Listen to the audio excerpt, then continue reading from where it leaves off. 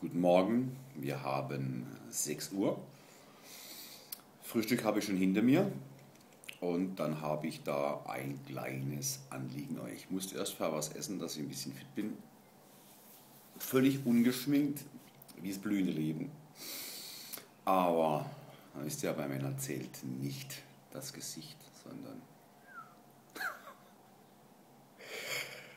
Spaß beiseite, bekomme am Tag in letzter Zeit sehr viel Nachrichten, PNs über alle möglichen Accounts mit äh, Fragen zu allen möglichen Themen, Thema Training, Ernährung, USW. Wenn ich diese Fragen in relativ kurzer, äh, man, mit wenigen Worten beantworten kann, ist es kein Problem, mache ich das auch, aber teilweise werden Fragen gestellt, die kann ich so nicht beantworten.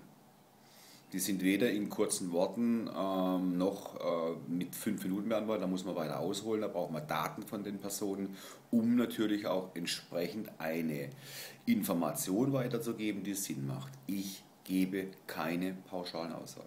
Nein, das mache ich nicht.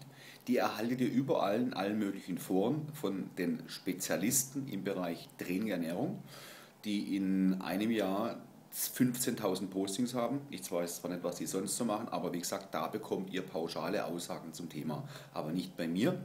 Ich versuche natürlich immer so gezielt wie mögliche Angaben zu machen und die benötigen Zeit. Und Zeit habe ich zwar schon, aber doch nicht so viel, weil ich natürlich auch eine Vielzahl von ähm, Kunden betreuen muss, was ich auch gerne mache. Auch da ist es so, dass oftmals äh, sehr viele Fragen kommen, die zum Teil schon in meinen FAQs beantwortet wurden.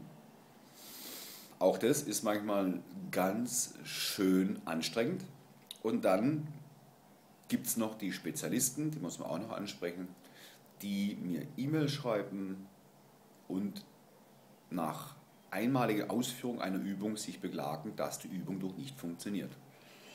Auch hier gilt, um was perfektionieren, um was zu perfektionieren, benötigt man Zeit und Geduld. Und dieser Sport ist wie alle anderen Sportarten auch ein Sport von langem Atem. Jetzt kommt der Finger. Ober.